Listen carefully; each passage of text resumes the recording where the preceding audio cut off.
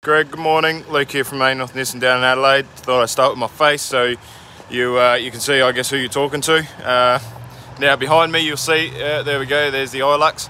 Um, so I'll just get that video started for you, mate. So I'll flick it around. So here we go. Here's the here's the Hilux here, SR.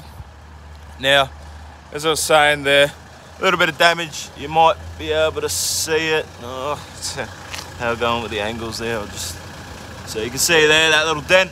Um, but besides that, look, she just needs a good clean. Here's that front part that I was talking about. Uh, you might see it a bit better from there, like that. So yeah, it's just it's been dented in a little bit here. Um, but as you can see here, like there's no hasn't popped the bumper out or anything ridiculous like that. Just around the front, ARB bull bar.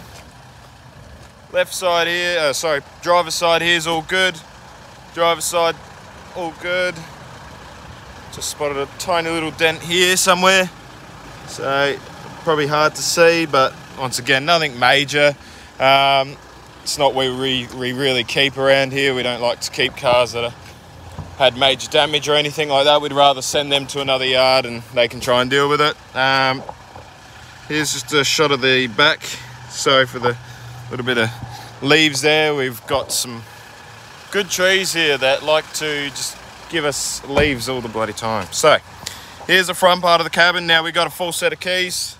I've got the car running right now, so there we go. So just jumping in.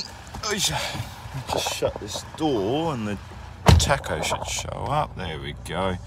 Yeah, so 163919 on the clock. Um, there's the screen there. So it does have a reversing camera.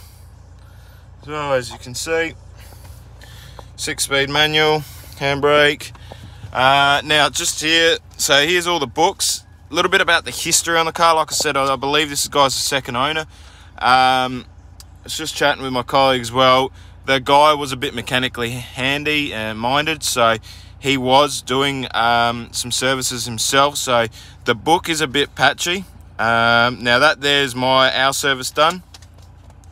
Um, that one was there was the previous one, and then there's a bit of a gap in history um, until the next service, which was I think around the hundred thousand mark. There it is. So yeah, so a bit of a gap there, and then once again another another gap until about sixty. So it, has been serviced. Um, it's just not being stamped. So look, that th this is probably where the inspection get an inspection done on the car is probably not a bad idea, uh, just for peace of mind for yourself. So uh, I hope you enjoyed that quick little video of the car. If you've got anything else that you want me to take a more up close photo or video of, please don't hesitate to let me know, and we'll go from there. I'll speak to you soon. Cheers, mate.